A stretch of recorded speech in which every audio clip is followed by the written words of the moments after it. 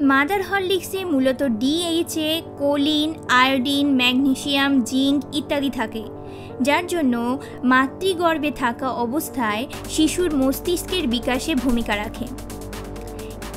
এছাড়াও এতে vitamin B one B two B six B twelve iron, যা মাতৃদুগ্ধের গুণমান উন্নত করতে সহায়তা করে। মাদার হরলিক্স উচ্চ প্রোটিন সমৃদ্ধ হয় এবং এতে অ্যামাইনো অ্যাসিড, মাইক্রোনিউট্রিয়েন্টস পাওয়া যায়।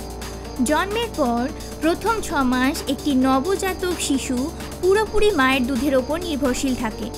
নতুন মাকে শিশুর পুষ্টির চাহিদা মেটাতে পর্যাপ্ত পরিমাণ পুষ্টি গ্রহণ করা প্রয়োজন। তার জন্য মাদার হরলিক্সে প্রয়োজনীয় পুষ্টি উপাদান রয়েছে, যা মা ও শিশু দুজনের জন্যই উপকারী।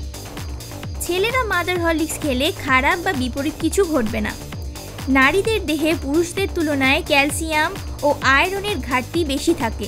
তাই মাদার হরলিক্স মূলত ক্যালসিয়াম ও আয়রনের মতো প্রয়োজনীয় পুষ্টির ওপর জোর দিয়ে তৈরি করা হয়।